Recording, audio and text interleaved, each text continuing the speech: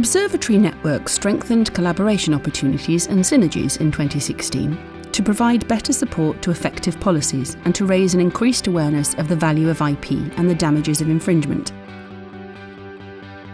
Major studies released underlined for consumers and policymakers the necessity to reflect on and act upon IPR infringements.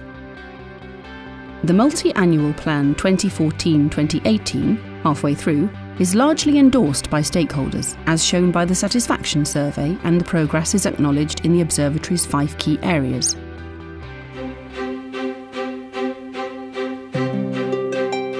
Observatory studies increasingly back up policy or operational orientations, both at national and EU level, as well as international level, and are regularly quoted and gaining increased interest from partners to team up to develop data and intelligence.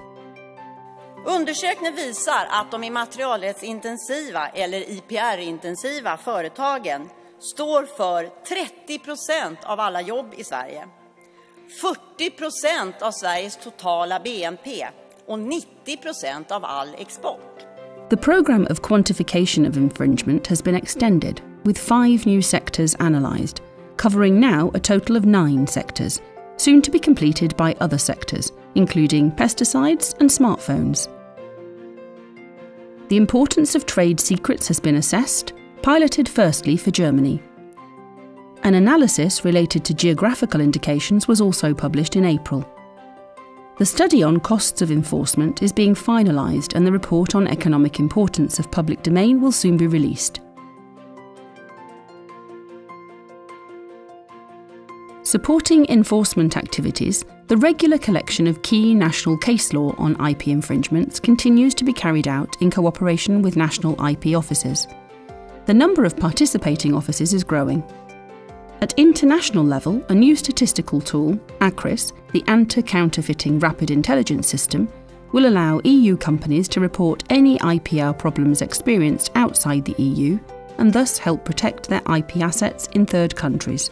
ACRIS for us will be a crucial tool uh, in terms of statistics and data um, and uh, feedback from the right holders to be able to develop these policies. In addition to the intelligence from the IPR survey in third countries developed in cooperation with DG Trade, these instruments should feed into the Commission's bilateral dialogues with non EU countries.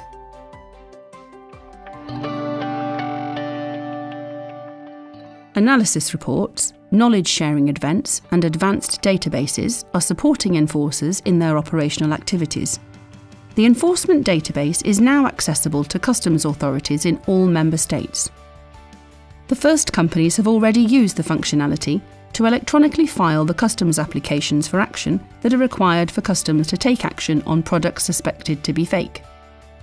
ACIST, the anti counterfeiting intelligence support tool, is collecting statistics on seizures of counterfeits across the EU at border level via the European Commission's DG Taxud but also in the internal market. The tool offers enforcers and policymakers with a more detailed picture of the phenomenon of counterfeiting and the detention work undergone in the different EU countries to understand the upcoming trends. To strengthen the fight against online infringements, Observatory supported the creation at Europol of the IPR Crime Coordinated Coalition, dedicated to improve the fight against counterfeiting and piracy in the online environment. Seminars for customs and police, as well as judges and prosecutors, continued in 2016, and a memorandum of understanding was signed with Eurojust, further reinforcing the building of the network and supporting capacities and training opportunities, in addition to the structured approach developed as part of a virtual training centre in cooperation with CEPOL. Furthermore, the high level conference jointly organised with the European Commission, DG Taxud, discussed ways to improve cooperation between different enforcement authorities. Es una experiencia muy interesante porque podemos intercambiar conocimiento, experiencia y formación sobre todo. Como eh, nosotros, eh, incluso como la mayoría de los países, el aspecto formativo pues es francamente limitado, muchas veces aprendemos de lo que hacen otros compañeros que tienen tareas similares o, o incluso pues eh, procuramos perfeccionar nuestros procedimientos de actuación. Of course, it's when it comes to cybercrime and internet uh, crime, it's that it's always a lot of people involved, and these people are often uh, in, in different countries and act in different countries.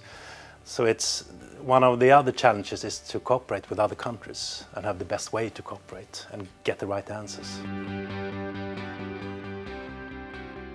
A decisive first step in understanding the various and new business models created to take advantage of IPR infringements online has been completed.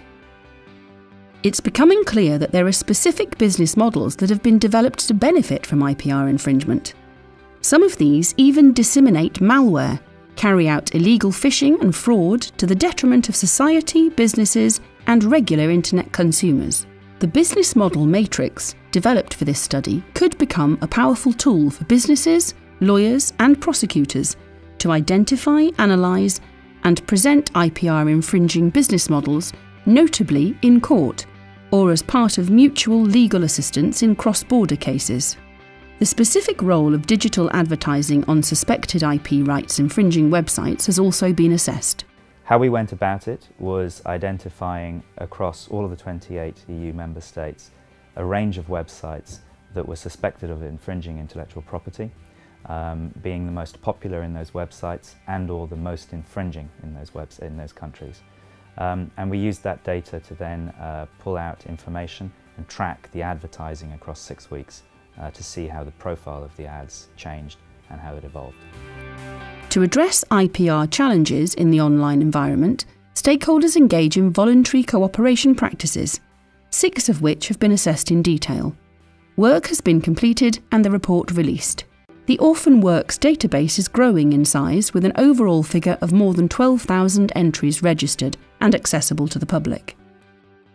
We have a digitisation programme at the moment uh, which aims to digitise 10,000 British films and make them publicly available. So within that 10,000 we are identifying uh, around 200 films from our own collection uh, that we are researching, doing diligent search on. So we actually now have, we're in a position where we'll be able to upload them to register them on the database really shortly. Information on legal offers available online is considered key. The European online content portal compiling national collections of legal offer websites, Agorateka, has been created. The pilot phase with four member states is being completed in 2016, and participation of additional member states is envisaged from 2017 onwards. Those countries that do not yet have national aggregators will be supported by a toolkit. A first test case to simulate searches for legal offers for music by consumers has been completed and is expected to be extended into other digital content fields. To help consumers make well informed decisions on what they can and cannot do online with regard to copyright, a guide has been developed with the help of copyright academic experts from 28 member states and public sector stakeholders answering consumers' frequently asked questions.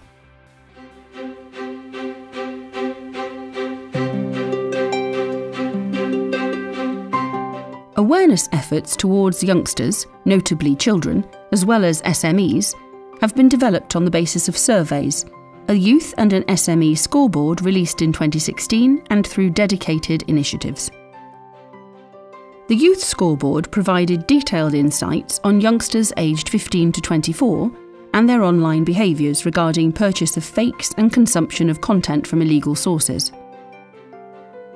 A selection of youngsters opinion leaders and influencers from the 28 member states were invited to Alicante to discuss how to better shape messages on the basis of these insights. They also had the opportunity to assess the Ideas Powered initiative and reflect on its development.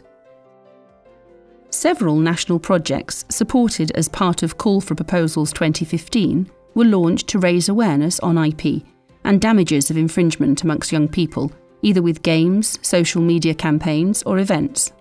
Even younger audiences were considered, following the report on IP and education published in 2015. Representatives of national ministries of education were invited to a workshop to discuss findings of the report and how to follow up with a view to bring IP closer to school children and consolidate a network of relevant actors in the matter. Educational projects supported by Observatory under the 2015 grant scheme illustrated good practices were notably discussed with a view to exploring with stakeholders future avenues to develop educational materials and support school programmes. The positioning of small businesses regarding IP and innovation management has been assessed in an IP SME scoreboard published in spring. It aimed to provide more insights and evidence as to why SMEs do or do not register IPR, what motivations or barriers they have, such as when registering and how they think identified issues could be solved in the most efficient manner. We are a design furniture company, so it's crucial for us that we can be defended when we present a novelty, when we do a creation, so that we can keep innovating what we do. Collaboration and synergies among the observatory network have been improved wherever possible, especially to generate more engagement from stakeholders, with a view to basing more awareness on fact based evidence and to better support effective policies at EU and national level. J'étais d'ailleurs l'an dernier extrêmement impressionné par ce que disaient les représentants de la douane de la Guardia Civile en matière d'action contre les contrefaçons et ça je crois qu'on tenait là quelque chose d'intéressant. Thanks to the regular consultation process on the work programmes, as well as during the lifetime of each project, stakeholders are increasingly contributing and shaping the work of the observatory.